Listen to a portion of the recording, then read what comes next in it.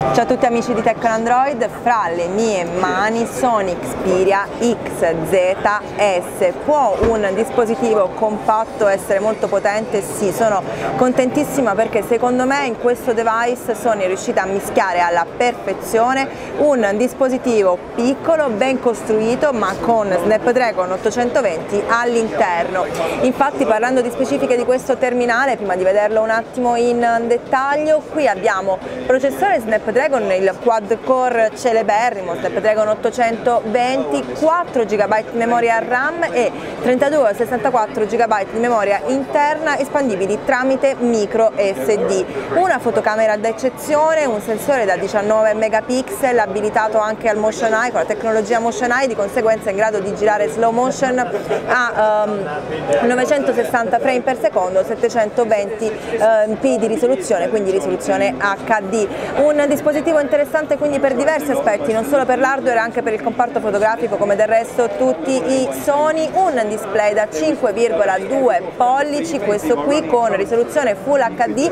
e un pannello IPS con tecnologia Triluminous e X Reality, quindi ci siamo anche in questo. Mi piace particolarmente la costruzione perché abbandoniamo quel discorso del vetro per ritornare al policarbonato che mi è sempre piaciuto tanto di Sony. Andandolo a guardare in dettaglio questo dispositivo dispositivo, sul primo lato c'è ovviamente il tastino dedicato alla fotocamera, bilancieri del volume, tasto accensione e spegnimento, ci spostiamo sul lato superiore, troviamo il secondo microfono per la riduzione dei disturbi in conversazione, audio da 3,5 mm, spostandoci ancora invece il vano per la SIM, per andare a introdurre le, la single SIM, la nano SIM e l'espansione di memoria. In basso poi microfono principale e USB di tipo C. Per quanto riguarda lo speaker audio è messo sul posteriore, sul frontale in realtà sono due perché garantiscono audio stereo, quindi vanno a coronare il display insieme a fotocamera frontale e il, eh, LED per le notifiche. Il posteriore come anticipato un eh, posteriore molto interessante perché si abbandona il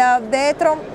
posteriore con fotocamera da 19 megapixel, flash LED, messa a fuoco a fase, purtroppo non c'è lo stabilizzatore ottico ma soltanto elettronico, promette comunque prestazioni interessanti che ovviamente andremo a valutare sul campo. Per quello che riguarda invece il sistema operativo, su questo dispositivo abbiamo eh, in uscita, avremo già Android Nougat, eh, ovviamente lasciato semi stock come Sony è abituata a fare, un device quindi che potrebbe rivelarsi interessante soprattutto per gli amanti dei terminali potenti ma piccolini, vedremo come si comporterà ovviamente in recensione